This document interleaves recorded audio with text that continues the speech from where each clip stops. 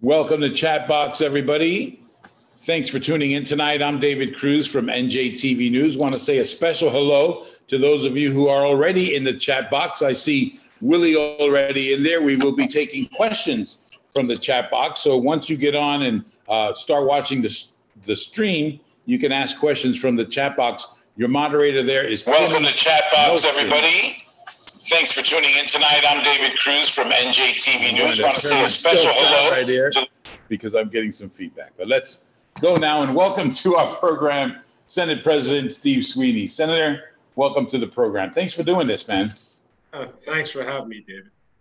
So, how, how are you doing? How's the family and, and how's the district? You know, we're doing okay. You know, and down here in the south, southern part of the state, it's not nearly as the challenge that you had up north. You know, and we pray for you. we pray for everybody. You know, it's it's it's a little hectic down here, but most most of the fatalities are nursing homes.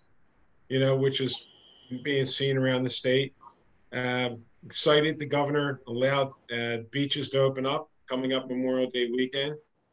Uh, so I think you know we're pretty much ready, David, to get going. In the district, is this what people are are still? I mean, is this mostly what people are talking about to you in the district? People want to start. They want to know what's going on. They want when can we start? You know, you have businesses that are calling me on a regular basis. Look, government's putting me out of business. I can operate my business. I can follow the rules. See, Delaware just opened up, David. So, Dave, if, if you want a haircut, you know, we have cars. You can drive over to Delaware to get a haircut. You can't get one here. There's things you can buy there that you can't get here. Pennsylvania has a whole lot of uh, different businesses that are opened up that we don't have opened up. And, you know, you have other states that are opening up by region. New York's doing it, Pennsylvania's doing it. And honestly, you know, you know, the numbers are low down here.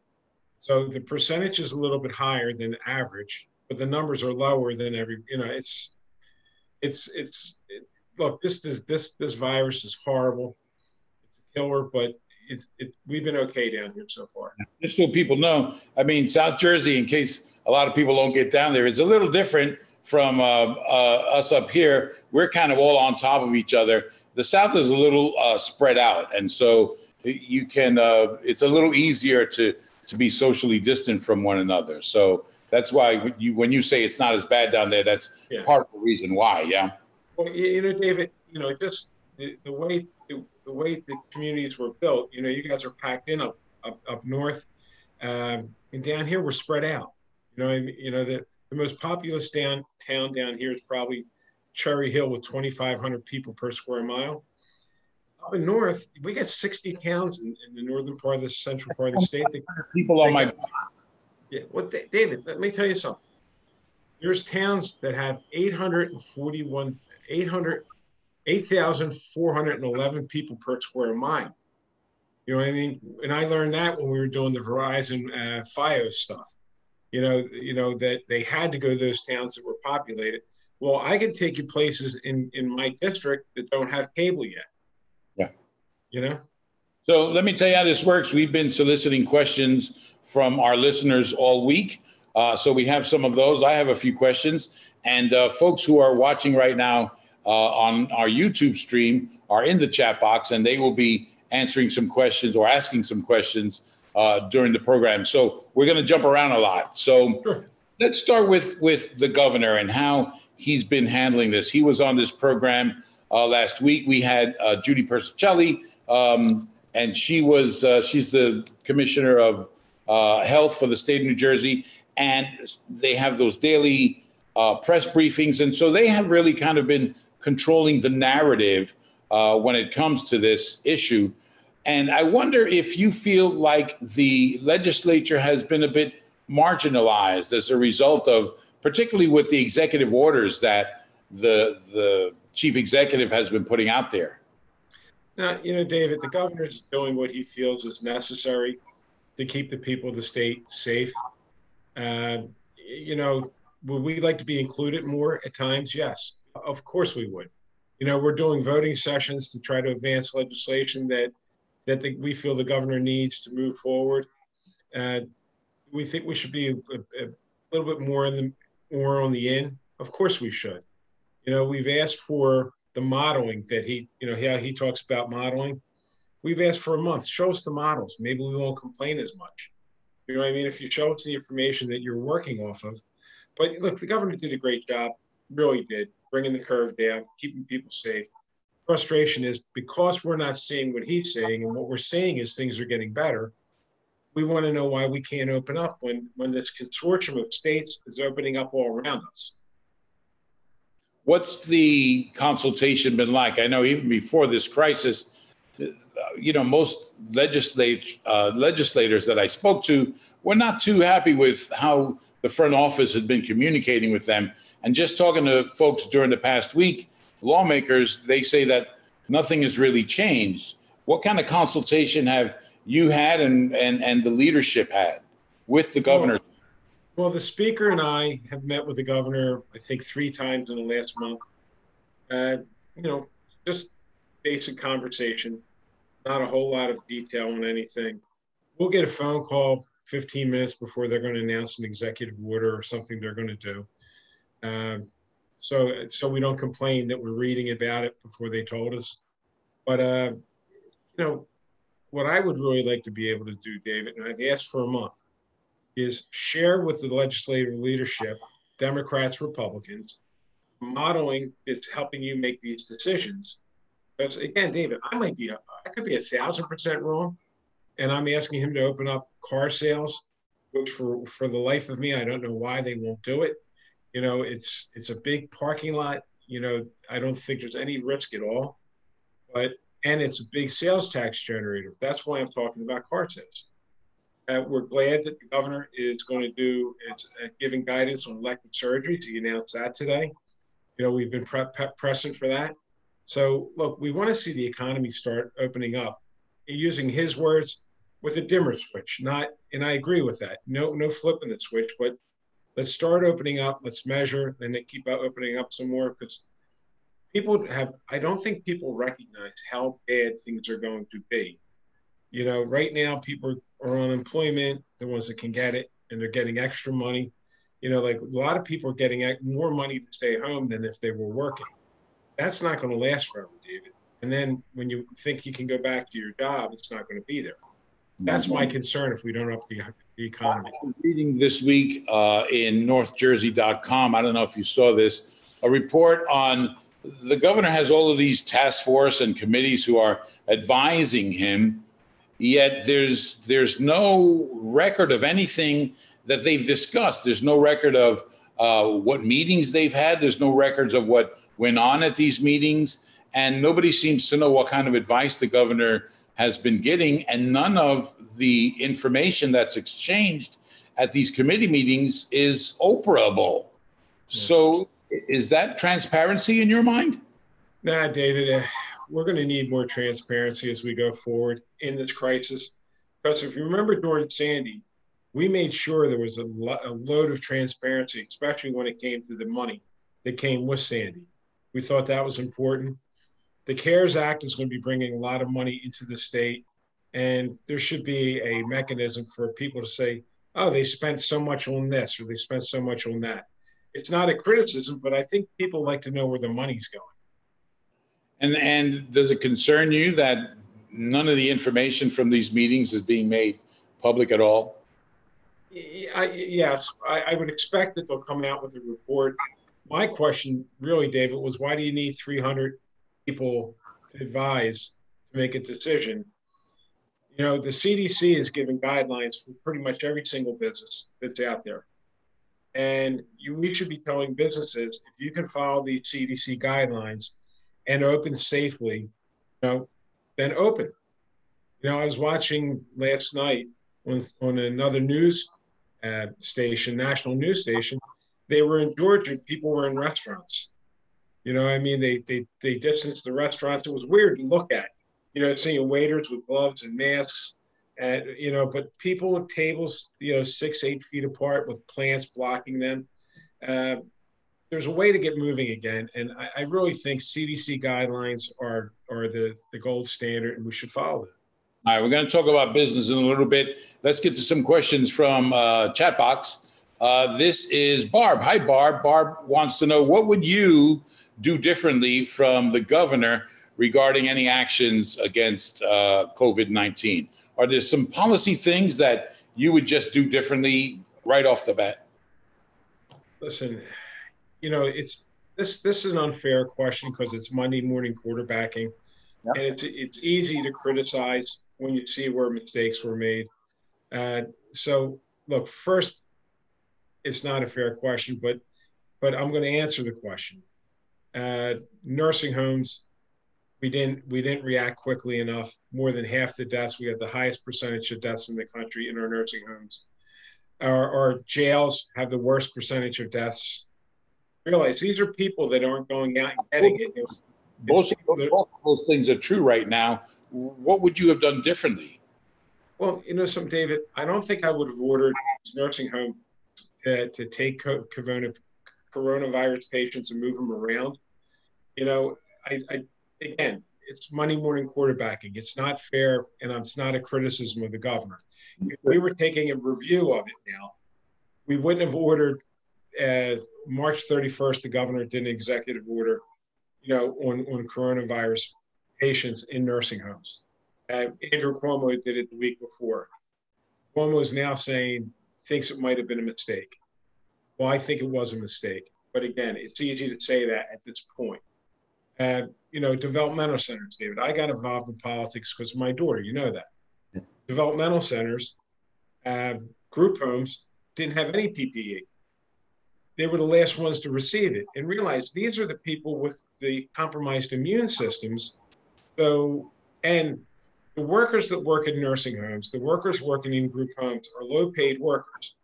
So normally they're not just working at one location, they're working at a couple places. So the potential to spread and make people sick is even greater. So, you know, they're talking about testing everyone now going into nursing homes, but it's kind of like, you know, closing the door after the horse got out, you know, the barn door after the horse got out. But again, that I want to be clear because this is not a criticism of the government. This is if you're doing a recap, there was mistakes. Right. And I would imagine that at some point when this is all over, whenever that's going to be, there's going to be a lot of postmortems, and uh, people are going to be talking about should we have done this, and maybe we could have done this differently. And all of you are going to be involved in that, I'm assuming. Yeah, and I, I like to say post op. Okay. Because, because post mortem is yeah. with what's going on. Yes. Uh, you know, I listen, David. Once once this is all done, we got to do a deep dive to see what we did well. Because there's things the governor did very well, and what we didn't do well so that we can move forward and lay a blueprint for the future, you know, the next generations. God, God forbid we have to deal with something like this again. But at least we have some kind of plan in place so that you would know how to act. You know, the biggest problem is you know, this pandemic was was was predicted for two decades. And no one did anything, you know, Democrats and Republicans to make sure the stockpiles were large enough and replenished on a regular basis you know, one other, one one thing I I hope comes out of this is manufacturing of PPE in the state. We shouldn't be relying on foreign countries. We should be, you know, propping up some manufacturers with tax credits to you know to be the PPE, you know, providers for the state of New Jersey. That's the jobs program right there. Let me move on to uh, Terrell, who asks from the chat box, "How is the state going to make money?" I mean that that goes to the whole budget question, which we're going to get to in a minute, but you know something, we make money when we have businesses open and yeah. businesses can sell products. And because people, right now, besides the people that don't have their unemployment, and believe me, David, my phone rings all day long with people we try to get them help. But the people that are collecting have actually more money than they normally had. So there's money to be had and money to be spent. But if there's businesses aren't open, you know, we, there's no sales tax to collect. So we really do need to find ways to start opening things up. And you know, the governor did open up curbside pickups. Again, thank you. It's helpful, but we need more. All right, let me move on to another question. This one uh, from an email. Sorry, I'm moving around the screen just like uh, a pro today for some reason. All right, let me get to my questions and we'll get back to the screen in a second. Let's talk about what I thought was the big news of, of the week, and it came today um, when the governor announced that the July primary is going to be almost entirely vote by mail. Uh, and this comes in the light of what was a debacle uh, in Paterson, where I think it was something like 900 mail in ballots uh, had to be thrown out, and their election was entirely vote by mail. Um, I, I, talked to the mayor today, Andre Sayegh there. He said democracy uh, is in danger. Um, do you have any confidence that the state's going to be able to pull off uh, a primary, primarily vote by mail? I'm hoping. I'm hoping. We didn't have. We look. We had. We had some bad spots, and not one vote should ever be lost. Not one, David. You know, everyone's voice should be heard. And it's kind of a hybrid. You know what I mean? Because you're going to be voting provisional, provisional, which means you're, you'll be able to go to a voting place, you know, and you'll be able to go to a vote to a place to vote and deliver your vote. So it's yeah, it's paper ballot. But you know, David, the other thing we have concern with, you know, most of our poll workers are elderly people. You know that. And safety can't be lost over elections either. We got to learn how to conduct elections. You know, other states do it electronically. I think Oregon does it all electronically. You know, and some states are all pay, all mail-in ballot. Um, you know, I thought we had a good mix between mail-in and in person. I personally, David, have voted mail-in for the last ten years. Yeah, you know, though um, the governor said that there's going to be at least one polling place in every town. I think of a place like Jersey City, where we are right now, or Newark, uh, which is flat and spread out. And if you're in the South Ward, how are you going to make it all the way to the North Ward, the end of the North Ward, just to cast your ballot? I mean, that's going to be really tough. I, there is not a lot of optimism out there about how this is going to uh, go down. Well, hopefully, the governor is going to think even further through this because, you know, it's possible that you could have a collection. You could have collection boxes at your municipal buildings, David, you know, or at certain public buildings throughout the town where you could have the collection box where you can drop it, you know, like a like a mailbox or again a collection box. Like we have a county store down where I live in the mall. And you when you go to vote there, they got a they got a lock box. You know, there's locks on it, you drop the ballot in it.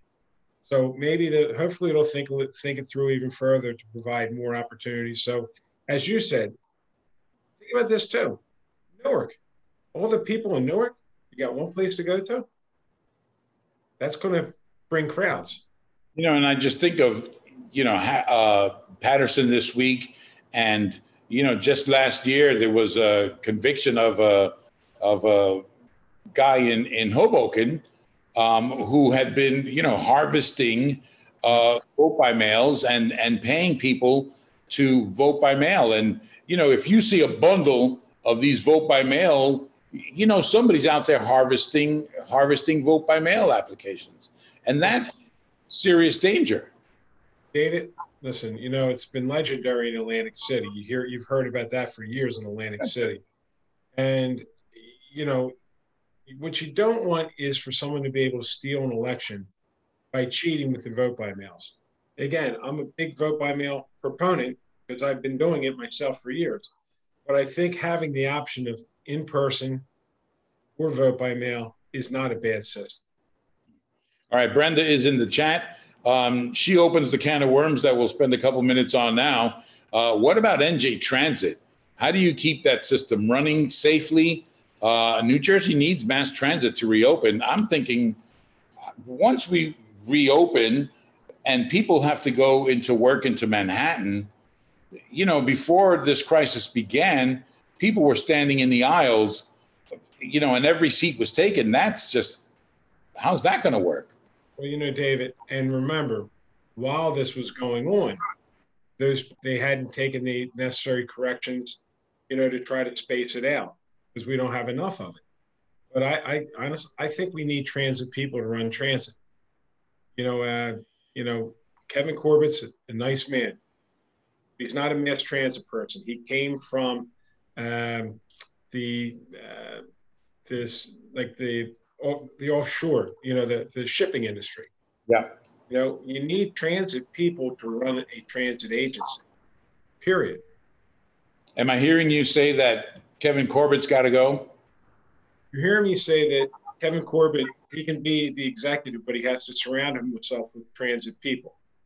Because, you know, listen, the end of the day, you need transit people to run transit. And that's one of the problems that we have. You know, when we had when we had the hearing with him, when we had the hearing with him, David, and he chose not to bring people with him and he couldn't answer questions and or he tried to slide past questions. It was crystal clear to me when he came to the hearing that he's not a transit person. He might be a great manager, but you know, you don't and you don't have to be the expert at something, but make sure you surround yourself with experts. And let's face it, NJ Transit is a disaster. And we need to fix it. And again, you can't blame this administration. This is decades in the making. Decades in the making. You know, I got to tell you, Ronnie Hakim, who was running it before, she was a transit person. So much so, when she went to New York, a lot of the town people at NJ Transit followed her there. Yeah.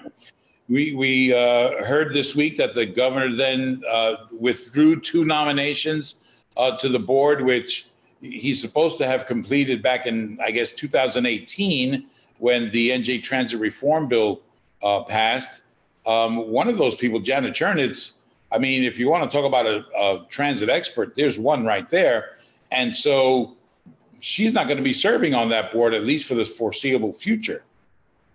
They should have never did that, David. And when, you know, there was no excuse for pulling her nomination. She's probably the most qualified one that was nominated. And you know, so it really was no excuse to pull her, and and uh, hopefully they'll renominate her.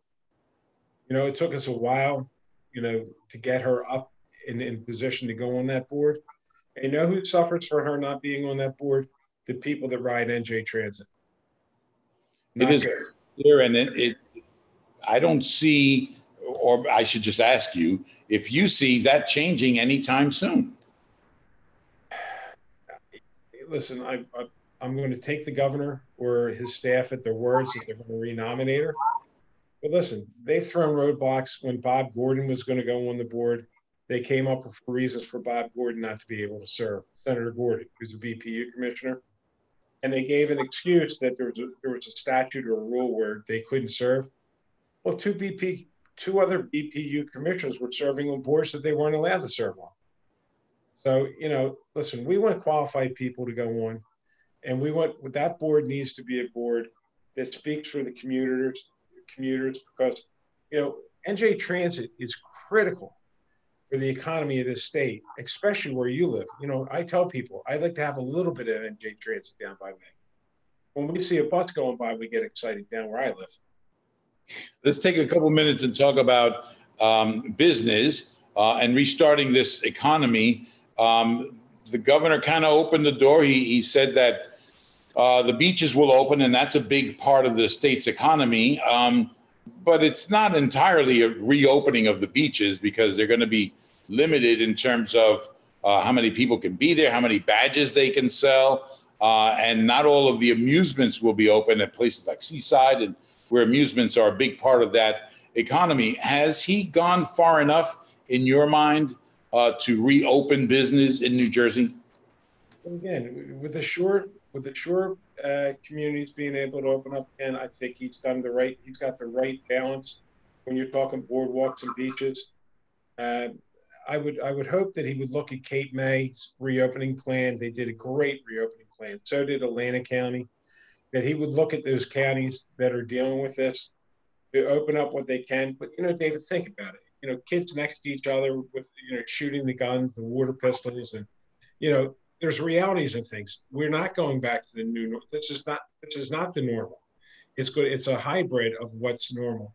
But the fact that he's giving people the sense of hope, and I and I appreciate that, saying, "Hey, listen, the beaches will be open, and you know, it won't be what it was, but we're getting there." You know, if people are depressed, there's a lot of mental anxiety in the state because people are just you know they're scared.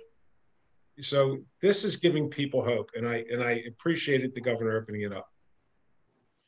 Uh, liz Muoio was on with our uh, rhonda schaffler this week and she said that the state is anticipating over 20 and 21 a 10 billion dollar shortfall. $10 billion on a $40 billion budget.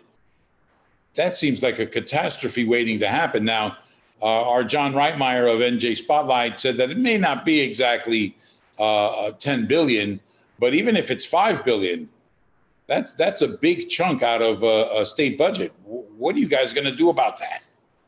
Well, first, we're going to hope Senator Menendez is, is successful in his in his efforts to ensure states and government and county and local governments get help because it's not a red state blue state. We got a lot of states in this position right now. And just like when we got hit with sandy money came into the state to help us rebuild.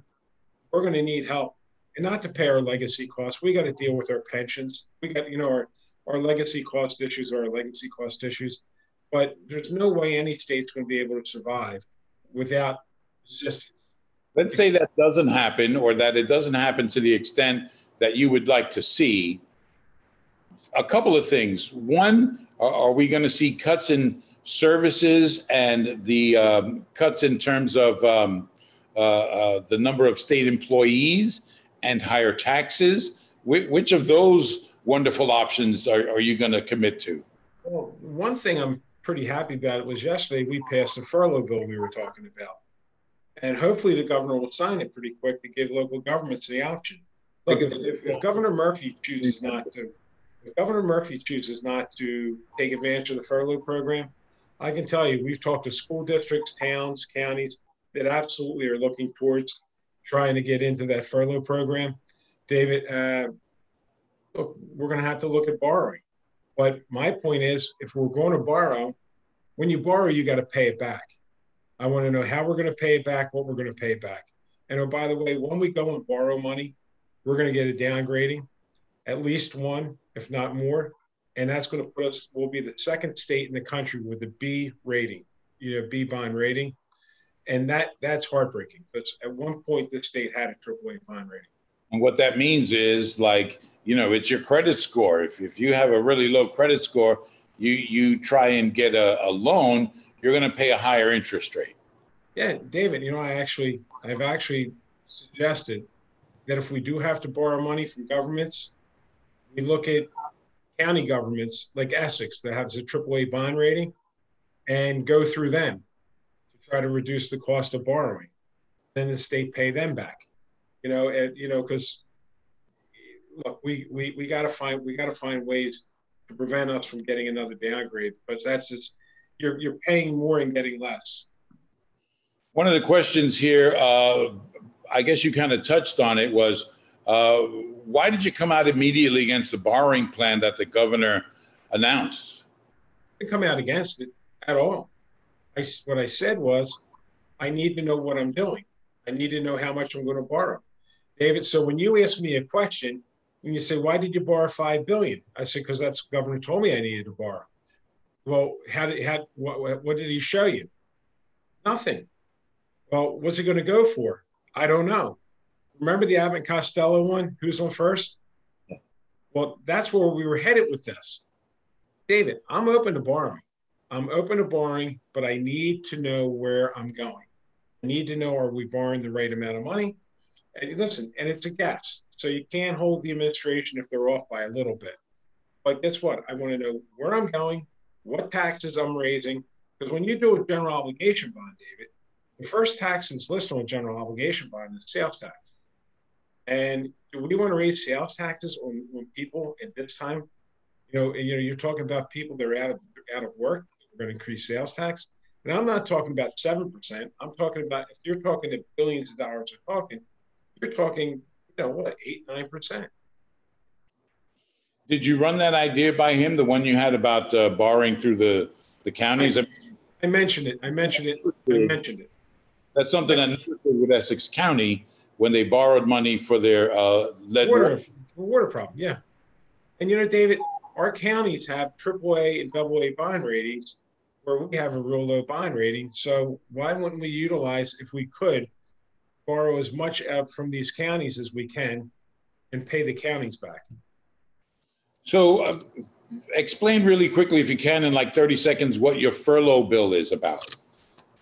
Furlough bill takes advantage of the CARE Act that the feds passed with the extra money. So I'll give you an example. Toms River laid off 200, furloughed 200 workers and 130 part-time workers. Well, Toms River is paying 60% of the cost of carrying that furloughed worker. Under my plan, they pay 40%. So you would get a worker, they're going to work so many hours, so many days a week. They're actually going to make more money. The cost of the CARE Act provides that additional benefit. So someone making less than $30,000 in a couple of months would be making 5,000 more. It's a good bill, David. It gives towns options and holds and holds employees harmless. And and again, I really hope the governor moves to sign it quickly. Anything you hear back from him on that yet? That you know, mixed signals. Open to it. We're concerned. We need every employee we have. Yeah. You know, because you know we're saying send more people to. Well, listen, send more people to unemployment. It's a crisis. You know, the commissioner, and again, commissioner is doing a great job. What he's he only can do with what he has, and it, 40 year, you know, computer system, 40 year old computer system. You know, every every time people say, ah, you know, we'll let it for the next guy. Well, we found out what happens when you leave to the next one. Do you think the governor went far enough on his reopening of business? A lot of folks who uh, these so-called non-essential retail, uh, they say that you know it doesn't really work for them for people to uh, pick up stuff curbside. A lot of their business is about people coming into the shop and you know point of purchase sales and looking around the shop. I think of antique shops um, down the shore, particularly. Um, how do you fix that? I mean, can you do you see a, a way for those places to reopen to have people physically in their shops? Yeah, it's called CDC guidelines, David. Almost they give them for everything. And one thing we know, you need six feet apart. So a store owner can say, listen, if it's a real small store, only a couple of you in the store at a time, people stay outside six feet. You know, if you want to do curbside, I can deliver the curbside. You know, I can get that that value too. But no, there's guidelines that can be given to let people start operating. David, I go into a grocery store, I go into a, a pharmacy, I go into a liquor store. You know what I mean? I've been doing it since this happened. Why can't we go into these other stores as long as you keep that distancing? Think about this you have clothing stores like card stores, they're closed. But you could go to a Walmart or a Target and buy clothes, you can buy cards, you can buy everything. So when you have these, and oh, by the way, those stores are pretty crowded. So when you have these small businesses saying, hey, wait a minute, what about me? Why won't you let me open up? They're not wrong, David. They're not wrong. The, the governor says that if we see a spike in new infections, uh, hospitalizations, et cetera, that he will close down the park, the state parks again, close the beaches again, uh, put back restrictions on business. You're in agreement with him on that, yes?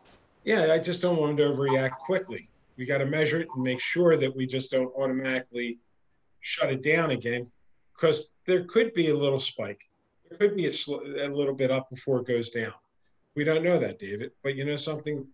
we can't live this way waiting for the second wave and thinking that by March of next year we'll be okay because there won't be an economy to go back to.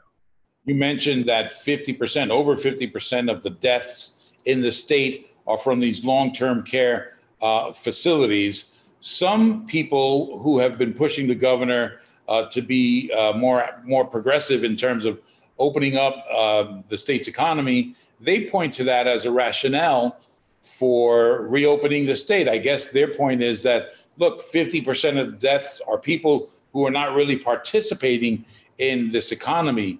Are you one of those people who, who would agree that there's an acceptable number of deaths? No, you shouldn't, we shouldn't accept any. But David, realize when we have the flu, we lose, they said anywhere from 20 to 80,000 people a year in the country with the regular flu. I'm not even thinking, not even coming close to comparing this to the flu because it's so much more aggressive. But what, what's happening, David? I have a brother runs an emergency. He's the head of emergency medicine in one of the hospitals here. They, they're figuring it out now. They're figuring out how to treat people. You know, if this was just a rush. We didn't know much about it. You know, were we putting people on ventilators too soon? Possibly. Now you have Remdesivir or whatever that's they think can shorten and help people. So we're starting to figure it out. We got overwhelmed, and this is where the governor did a very good job. He brought that curve down, and now our healthcare systems are in a position where they can treat. Although, David, one of the big problems still is the PPE. Not acceptable, not enough. Telling nurses and doctors they got to wear it all day long when they're around. You know, like when this first happened, my brother actually went to a hardware store and had to get goggles because there was no face shields. I'm in construction. We got them construction respirators. You know, them big things with the canisters. You know. All right, we are uh, running out of time, so I have a, a bunch of questions here. This is kind of a rapid fire uh, segment, so short answers if you could, Senator. Um, here's from Linda in the chat box. Uh, how is state government preparing for a possible opening of schools in September? I know this can't be a real quick question, but I mean, that's consideration, right? Senator Ruiz, Teresa Ruiz, is heading up a committee as we speak and has for the last month on just what she talked about, trying to figure it out with educational experts. I did a piece this week about how um, uh, doctors are seeing kids, young kids particularly, acting out more and regressing uh, because they don't have that that same kind of interaction at school that they had before. Somebody said, "How do you keep two-year-olds away from each? I mean, two second graders away from each other?" Yeah, yeah, absolutely. All right, um, these briefings that the governor does every uh, every day uh, are, are they effective, or is, as some have suggested, particularly on on from the other party, that he's using them for politics? He has had some uh, Congress people, Democrats, on. He had Menendez on the other day. Is he kind of taking advantage of that to to move his uh, democratic agenda? I don't think so because those briefings aren't going to promote any congressman or senator. You know, I mean, it's they're not getting any bounce from that. An appearance at a briefing, they're, they're not getting any benefit at all from that. Should the governor um, allow for graduations now? Yeah, I do think so, David. Done safely, properly, six feet distancing. You saw the Air Force Academy with, with Vice President Pence. I got all the superintendents down here in Gloucester County saying they want to do, you know, no no parents in the stands, but stream it, keep the kids six feet apart, and and uh, and do it safely. And if and like and it's different where you're at in Newark, they would have to do it multiple days. You know, I mean? because there's so many kids. But you know, it's a shame that a lot of these young people aren't getting the opportunity because you know social distancing to be had, you can do it. So in your mind, you'd have a graduation ceremony, but you would stream it, and parents would not necessarily be in the audience, but the kids would be able to walk up and get a diploma. And get the diploma because you know that's you're only going to get to do that once graduating from high school. You don't get to get a second chance. And if it was impossible to do, I'd say I, I would agree. But I, I look, we got football fields every six feet all the way around. You know, take a little bit longer, but we can do it safely.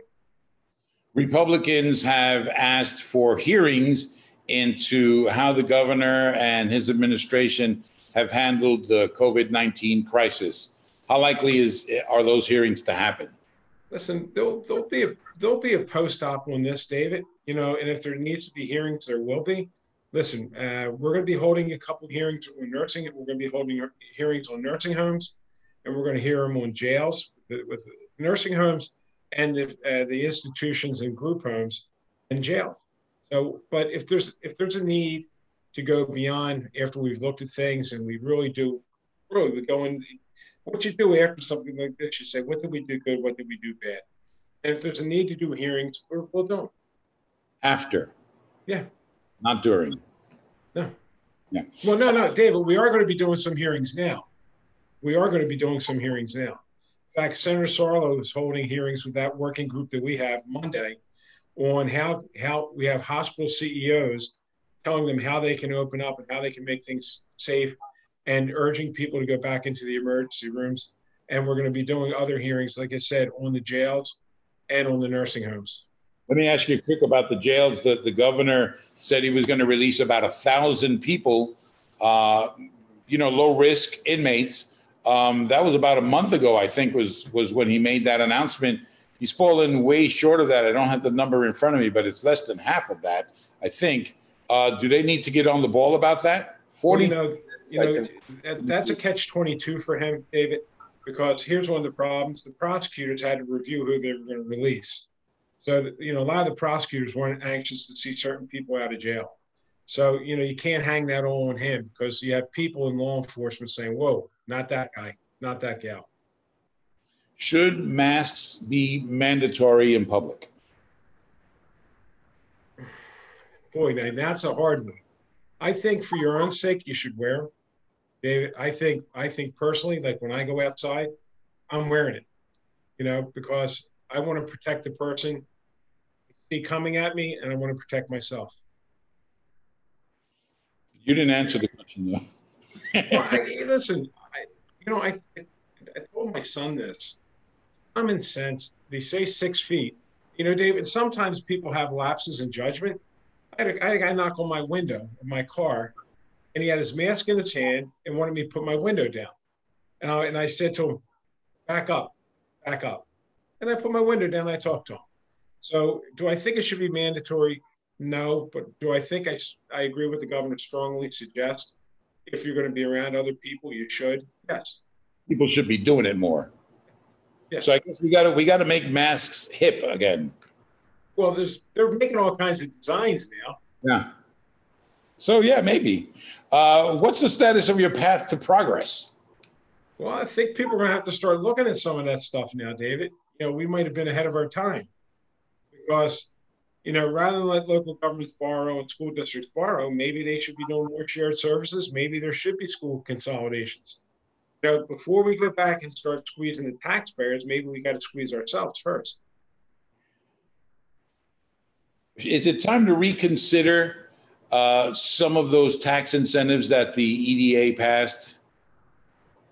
we're waiting to finalize that. This happened, David, and this took this took focus off of everything else, as you know. You know, so once once once this calms down, hopefully the governor and myself and the speaker can come to an agreement. All right, Senator uh, Sweeney, thanks a lot for doing this, man. We appreciate your time. I appreciate it, and I appreciate watching you drinking the vodka while I was doing it. Here's to you then. Thanks a lot. Stay safe out there, man. Thank you. You too. See you, David. Folks, um, Chatbox is a production of NJTV News. Our executive producer is Jamie Kraft. You know, it's funny because I- call Jamie Jamie Kraft every day, but when I have to tell you who our executive producer is, it goes out of my mind. That's why I wrote it down. Jamie Kraft is our executive producer. Our uh, producer is Lindsay Raspin, and our director tonight is Elvin Badger. Um, over at the chat box, Tim Nostrin is your moderator. Uh, just a programming note next week, our guest is Declan O'Scanlan, the Republican state senator, and we have the return of Reporters Roundtable. Both of those will be live starting at 6:30 next Thursday. So we hope you join us. A special thank you to all of you who have been in the chat box tonight sending us your questions. We appreciate your participation in this program.